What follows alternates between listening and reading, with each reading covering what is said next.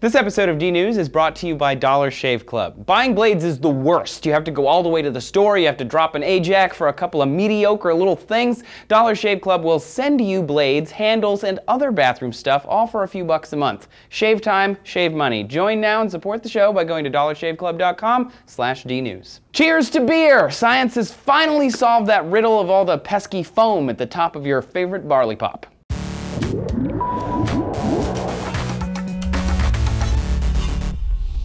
Howdy beer bellies, Trace here. Thanks for watching D News. Beer is an ancient cultured beverage made by fermenting grains with active yeast, as everyone knows. There are innumerable quotes about beer out there, and here is one more. Beer is real good.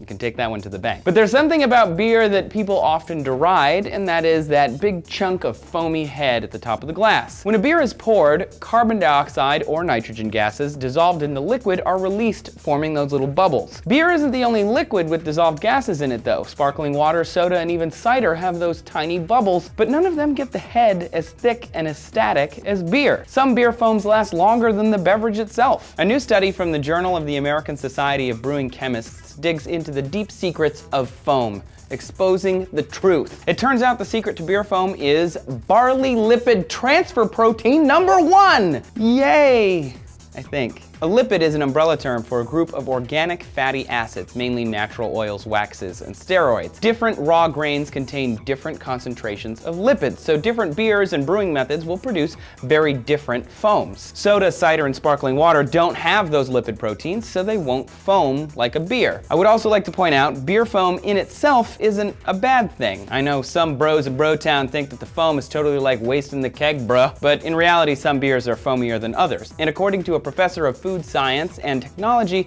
at the New York State Agricultural Experiment Station, the acidity of beer, the number of molecular ions, ethanol levels, viscosity, pH, and so on and so forth, all contribute to the head on your cold ones. According to Cornell biochemistry professor Karl Siebert, there's a Goldilocks zone for beer. High alcohol Belgian beers at 9 to 12% and low alcohol beers like Bud Light, 3.2% ladies, won't form foam at all. Stuff that in your keg and drink it, bros. But a 5% beer, that's where the perfection is. When beer is poured, the tiny bubbles of gas form, and they stick to that LTP1, forming a nice foamy head on the surface. For beer aficionados, beer is like wine, so many factors can go into the flavor, and head is actually one of them. As my boy Strong Bad once said, a one that is not cold is scarcely a one at all.